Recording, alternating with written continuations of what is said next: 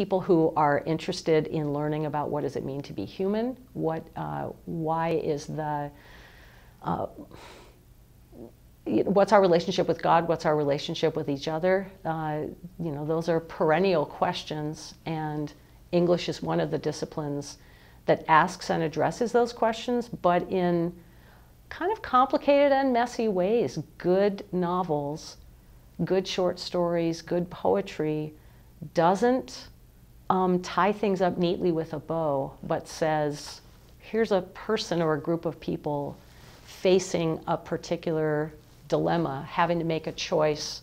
Um, I can vicariously have that experience and enhance who I am and, and then learn from that uh, through, through reading. Um, there's obviously the instrumental reasons. We know that being able to communicate well especially in writing, by being able to read well and being able to articulate um, oneself in writing, are important skills.